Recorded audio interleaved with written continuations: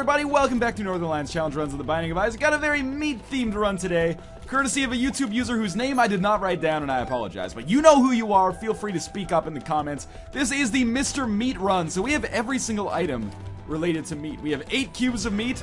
SMB super fan, as you can probably tell just by looking at me. I'm just gonna back off, let these guys do all the dirty work for me.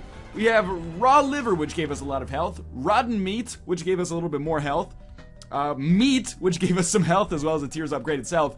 And actually, in the initial suggestion for this challenge run, Epic Fetus was included. And I was like, man, we're already like way too powerful here for Epic Fetus to even be a possibility. Now, the balancing agent on this run is that I can only take three items over the course of the entire game. So I'm gonna try to choose wisely. That's probably not a super wise choice. Halo is okay, but if I only get three items for the entire game, that doesn't seem like a very good option.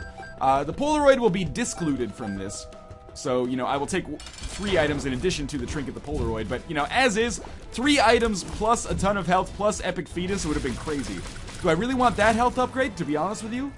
I don't really think so. We're just to go down to the next floor. Recall that, you know, deal with the devil items will be included in this as well. What I really don't want to do is put myself into a situation where I end up, you know, passing up so many items that I only take two or something. But uh, hopefully you understand the conditions of the run so far. I'm feeling like this is going to be super easy as we get started and will become more and more difficult as we move on, as most challenge runs indeed do. You know what? Skeleton Key seems like an okay pickup to me if I'm only going to be able to have three items. This will enable me to easily uh, I mean, golden chest, here's the, the thing. I think golden chest shouldn't count, but considering we're so overpowered, perhaps golden chest should count. This will allow me to go to every shop, which, or go to every item room and shop, which should uh, also allow me to possibly choose better items than I otherwise normally would. Now, what I might want to do is get a good spacebar item, and then try to augment it with something from the shop. Uh, chocolate milk is probably not what I'm looking for. Chocolate milk was one of those items where people were like, why didn't chocolate milk end up on one on your 10 worst items list? Well, chocolate milk I don't think is actually universally that awful. It's just pretty bad most of the time. So the the main chance for failure for me on this run is going to be me taking some bad items or not taking some ideal items or taking too many items and thus leaving myself in a position where if I get a good item later in the game, I'm not going to be able to pick it up. Obviously, I'm looking uh, ideally for probably the nail. Uh, you could convince me to get some other stuff though. I might play that arcade eventually as well. Um, uh, we're obviously not going to pick up this cube of meat, but we will check out the deal with the devil that we were likely going to earn after, because I can't really see myself taking damage on this room. Cubes of meat will basically tear this dude up super quick. Not sure what that one escort cube of meat is doing. Uh, I'm not going to pick up the cube of meat, because that would be one of the items that we don't want to uh, don't want to use as one of our allotment, I should say. And I don't even really want uh, the blood bag here. All I really want is to get enough money to make the shop worthwhile, which should is done right now, I guess. Uh, so let's leave and move onwards. Okay, fairly solid so far. We could re-roll that cube of meat for whatever reason. I could also re-roll the um, chocolate milk that we had in that other item room, but I don't think it's necessary at this point. Uh, normally, it would be a, obviously a, a, wise course of action, but here it doesn't seem all that important because we, we're not limited by uh, the number of re-rolls, we're limited by the number of items we can actually take, if that makes sense.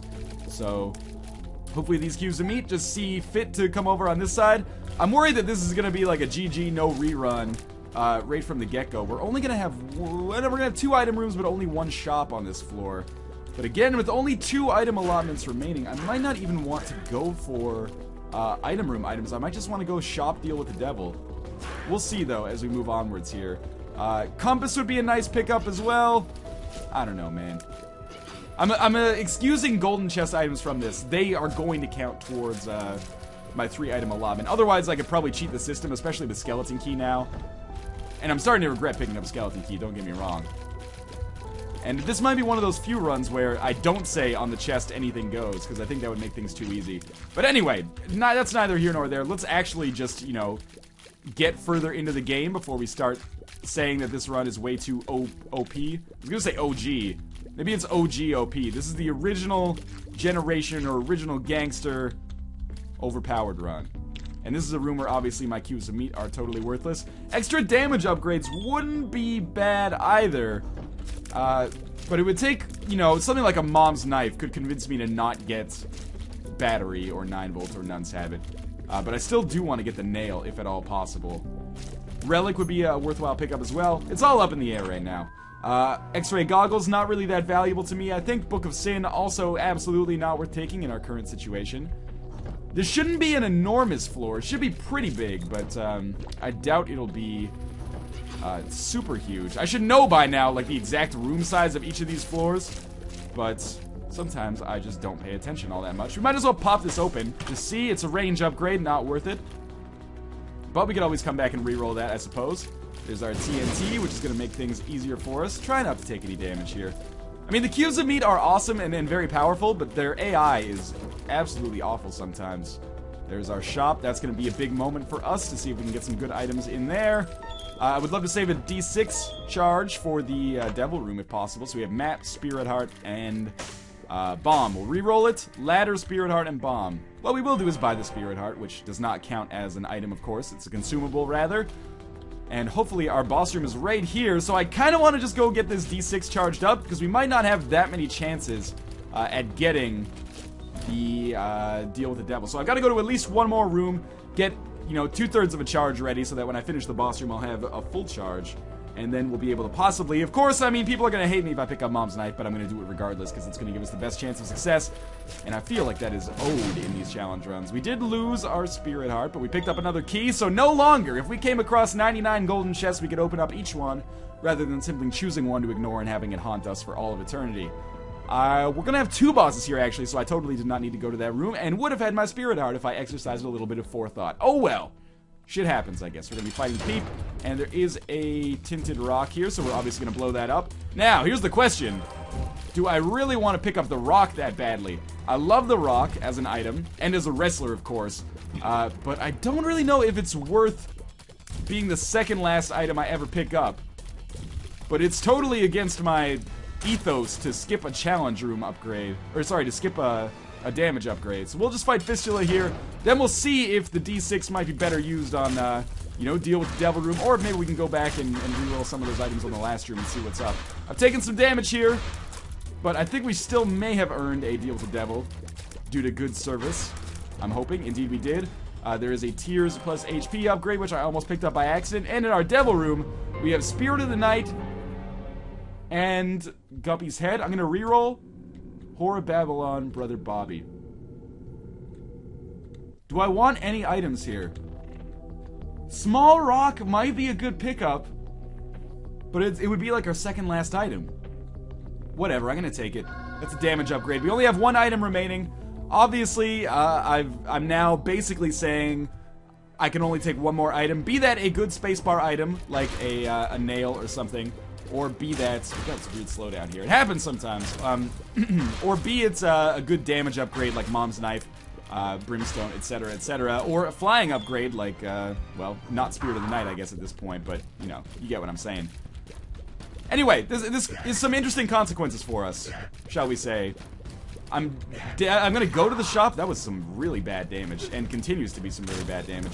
Um, I'm to go to the shop. I doubt there's to be anything in there I could possibly want. And of course, now we are to run into Nun's Habit, uh, which would have been awesome for me before, but doesn't really benefit me all that much now. Because if I took Nun's Habit, I wouldn't be able to take another spacebar item. And Nun's Habit plus D6, effective, but certainly not what you want to be rolling in the end game. Uh, you know, vanilla D6 is not that bad in its own right. Let's make our way to the item room where, again, we could possibly get something. You know, there, there's another, there's a bunch of items I haven't really talked about that would still be worthwhile to take. Even something like Ipecac, obviously Epic Fetus. Maybe I should start looking for secret rooms. Uh, or Dr. Fetus, for example. But we're kind of at the whim of the random number generator when it comes to that. So let's just play it cool for now. Unless I come across something fantastic, we'll probably pass up everything on this floor and, and be stuck with whatever we get in the next floor. But again, I'm kind of holding out for that uh, Mom's Knife possibility. Which sounds like a Seattle indie rock band or something. Just shoot the hearts! I am taking a lot of damage and suddenly finding myself wishing uh, that I had possibly gone with Spirit of the Night. But we're still fine for health. I mean, we have eight heart containers. We might as well play Judgment, to be honest with you. Uh, we can get some consumables out of him regardless. Uh, maybe he'll give us an item as well, and if the item's good, then awesome. If he just blows himself up, that's cool too. Uh, the pill does not count as an item, so it could be a health upgrade for free. Or it could be a health downgrade for free, you know. I guess that swings both ways, sadly. Now, we're just to try to stay in this little corridor here. Let the Meat Boys do their damage. I took a sad amount of damage there, truly. Come this way, thank you. We're slow enough that I could easily be hit by those guys. We will check out our item room, obviously. Uh, probably save my D6, though, unless... Uh, no, I'll probably save my D6. And again, awful, awful damage. Very poor dodging for me so far. But uh, we should be able to replenish it. So yeah, we'll save it for now. Book of Shadows is okay, but I'm just checking to see if indeed the boss room is over here, as it, it was. Uh, I feel confident enough to play this one time. I don't know what I was hoping for. I guess a penny to spend on a shop eventually. And enough money to buy something from the shop on the next floor, or Nun's Habit on this floor if I wanted to. Uh, but let's fight this boss instead. It's going to be the Bloat.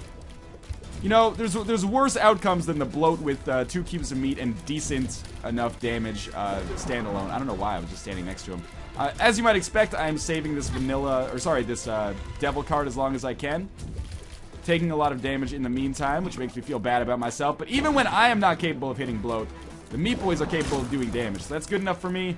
We're not going to take the range upgrade. We are going to go back quickly uh, and re-roll the item room. Here again, there's possibility for Ipecac Mom's Knife or something.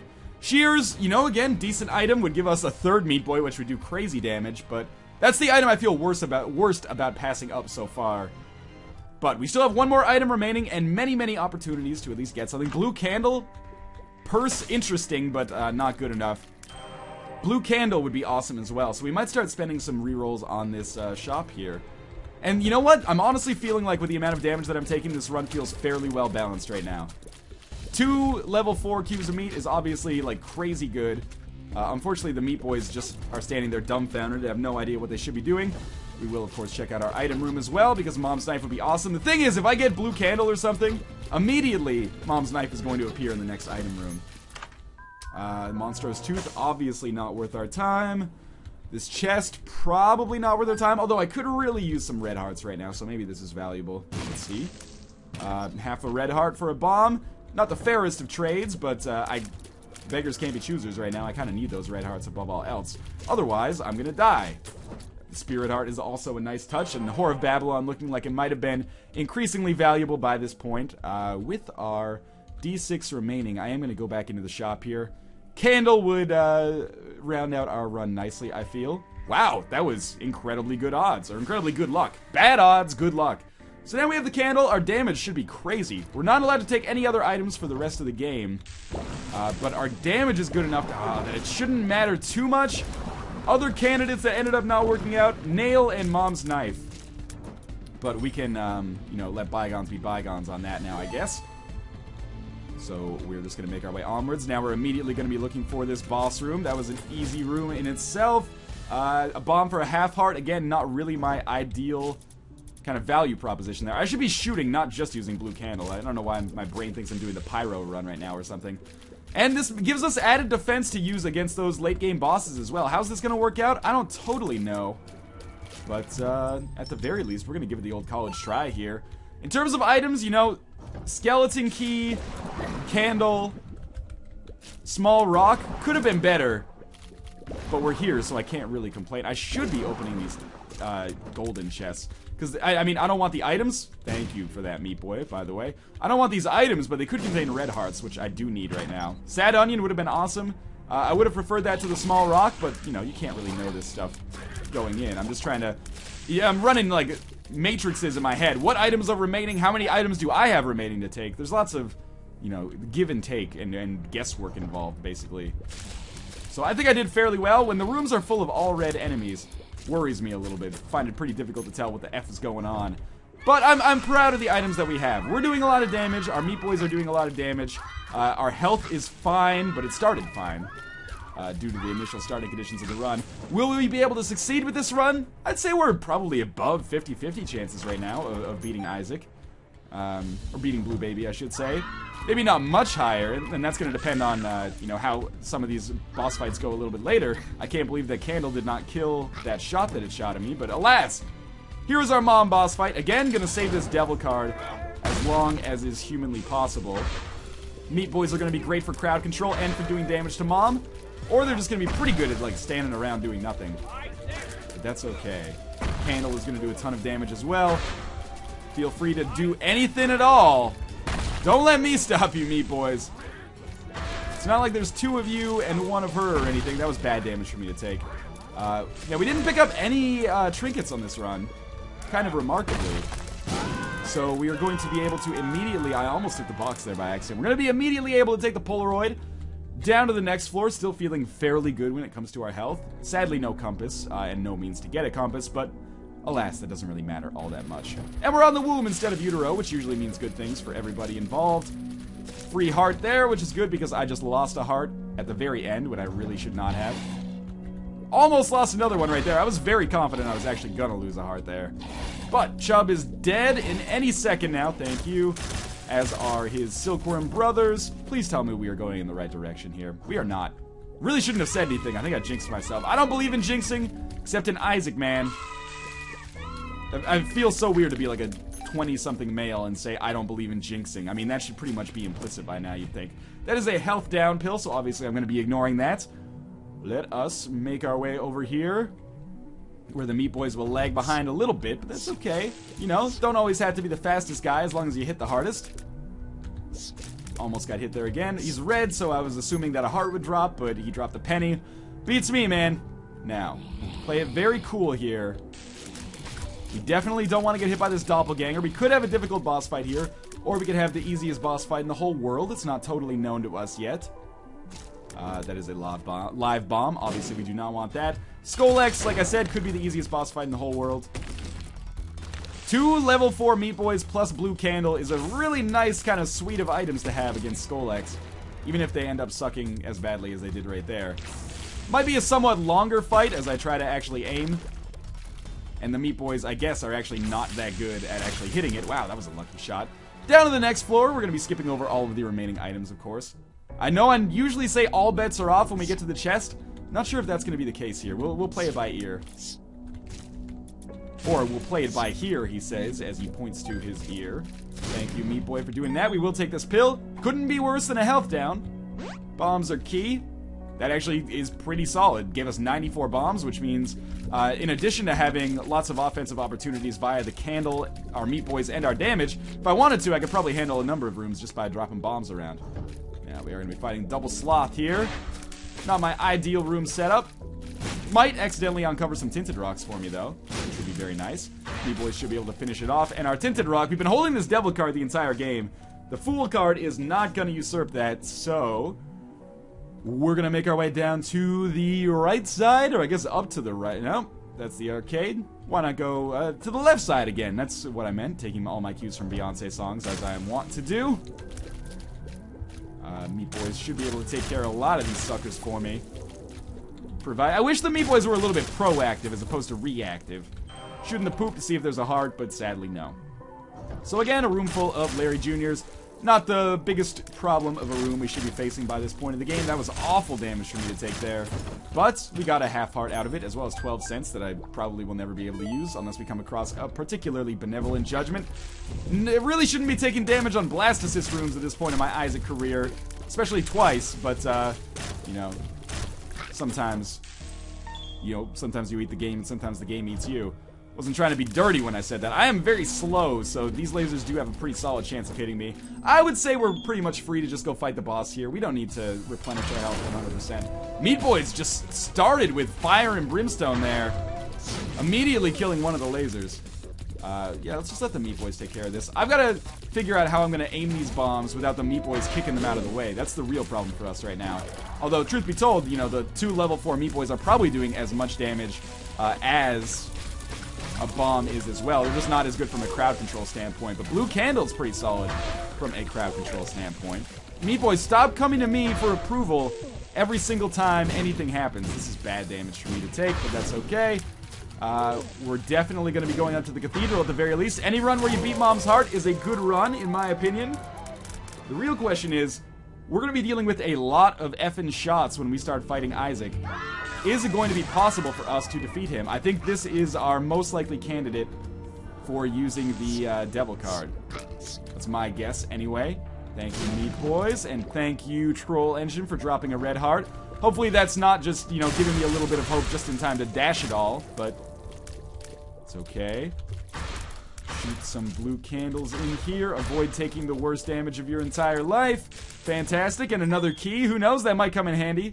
It actually might be impossible for it to come in handy considering we have nine and we're only possibly going to be opening the items on the chest. We pick up another key here. Sorry, now we have 10. At this point, all of my earlier comments get thrown out the window because 10 keys is infinitely better than 9 keys. Who knows, man, that 10th golden chest couldn't contain 90 golden chests underneath it. Actually, I guess that wouldn't help us at all, considering, you know, the, whatever. Brain, stop worrying about commentary, start worrying about not getting hit by these shots, and uh, everyone will be happier as a result. Getting a little bit concerned about the amount of damage that I'm taking and the limited amount of health that I still have remaining.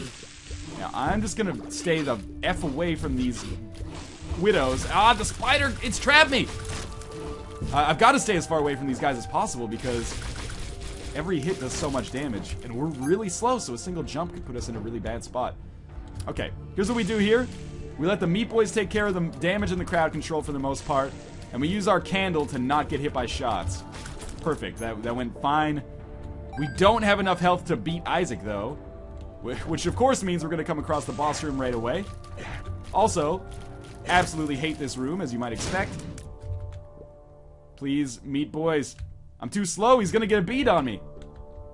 Oh, that went perfectly, actually. Now, I mean, I guess we try it. And I just try to be super proactive. Pop this devil card. Meat Boys, you have to you have to home into this guy. I'm sorry to tell you that. So what we're going to do, we're going to fire, and every time we fire, we're going to try to launch the candle at him. I'm just going to move over here. Now I can adjust my strategy slightly. Uh, but I'm, uh, yeah, there we go. We've taken one hit, and that means things are going to come off the rails possibly very quickly here. Just got to use the candle as much as possible. Keep the times when I'm not as vulnerable as high as they possibly can be. Candle was a very good pickup. Probably the best pickup that we got. Oh, and they were dead. I tried though. That was actually a really good run. It just all came off the rails at the end. Maybe I should have taken Epic Fetus along with it. No, that would have made it far too easy. In any case, thank you guys for watching, and thank you to Nameless YouTube Commenter for suggesting that run. I liked it a lot. As always, I will see you next time, and thank you guys for watching.